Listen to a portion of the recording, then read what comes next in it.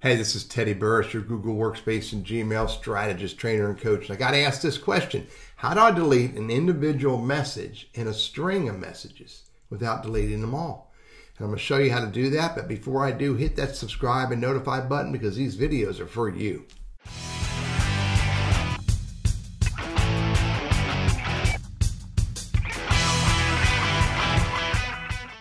So here I'm in Gmail on uh, in my Chrome browser on my MacBook, and you can see that I've got a bunch of messages here. That uh, you know this thread, this is a thread with seven messages. This one has three, and this one has four, and this has two.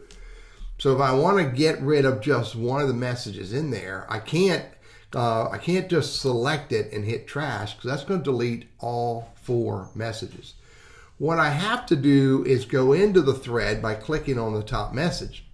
And there's message one, two, three, four. Now, if I want to get rid of Teddy's message here, what I have to do is I have to click on it, go to the three dots over here, and delete this message. And now when I go back, you'll see that where I had four, I only have three messages now.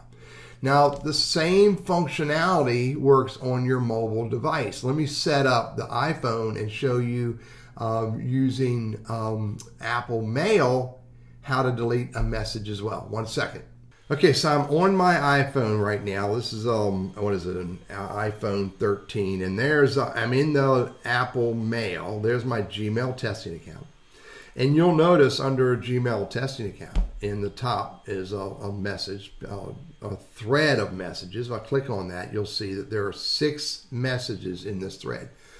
Now, if I want to delete just one of the messages, then what I have to do is scroll to that message, click on it, and then if I can drag to the right, you'll notice there's a delete icon. If I drag to the left, there's a mark unread icon. So to get rid of a single message, you drag to the right and you hit the delete button in the iPhone. And now we're down to five messages. So anytime I want to get rid of an individual message, I display that individual message and then I drag to the right and hit delete.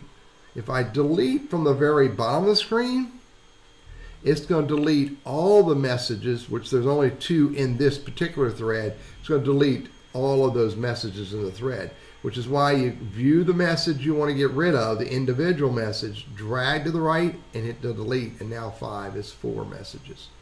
That's how you do it on an iPhone using the Apple Mail app. I am Teddy Burriss, your Google Workspace and Gmail strategist, trainer, and coach. I hope this is helpful for you.